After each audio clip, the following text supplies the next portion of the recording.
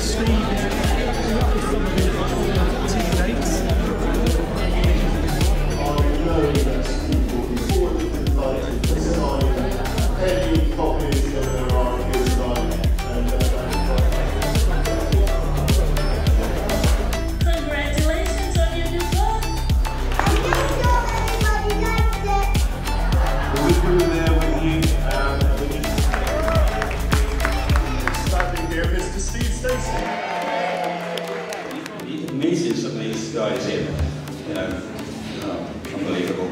I kept most them. we were only able to publish the book thanks to the Professional Footballers Association.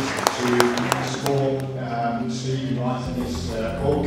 This is the first